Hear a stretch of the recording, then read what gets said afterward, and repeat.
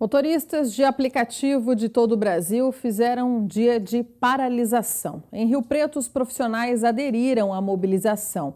A categoria reivindica a melhoria das tarifas pagas hoje pelas plataformas.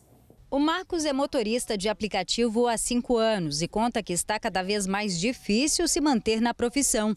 O problema são as tarifas reduzidas pagas pelas plataformas. Isso força o motorista a ficar muitas horas no trânsito, muitas horas dentro do carro, 12, às vezes até 16 horas de trabalho.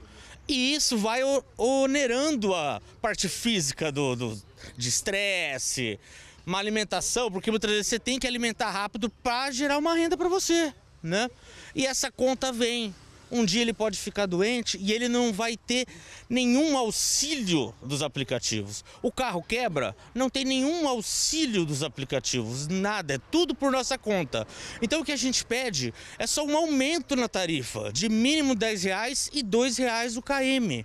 Hoje, as plataformas pagam R$ 5,50 pela corrida mínima e R$ 1,02 por quilômetro rodado o que, segundo os motoristas por aplicativo, mal dá para cobrir as despesas do trabalho. São valores que, que, que eh, trariam um equilíbrio nas finanças do motorista, porque nós temos, um, nós temos algumas despesas altas.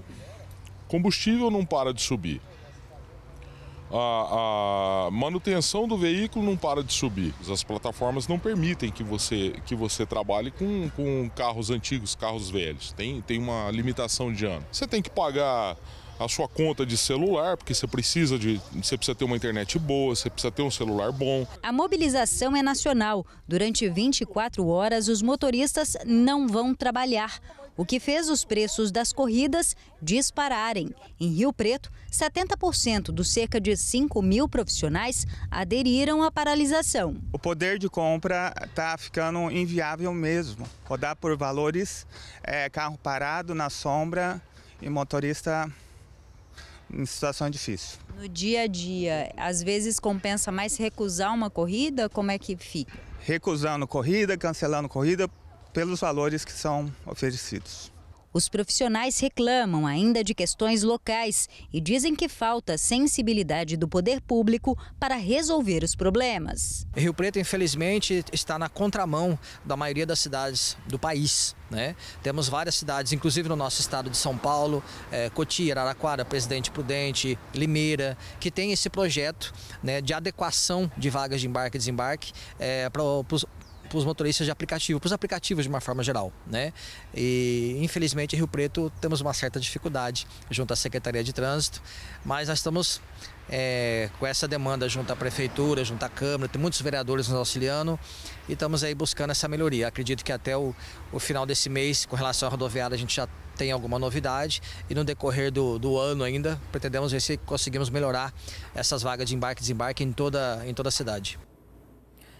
Bom, a Secretaria de Trânsito e Transportes de Rio Preto informou por meio de nota que a criação de novas vagas de parada rápida próxima à rodoviária só será possível após a conclusão da reforma, que deve ocorrer até o fim de julho.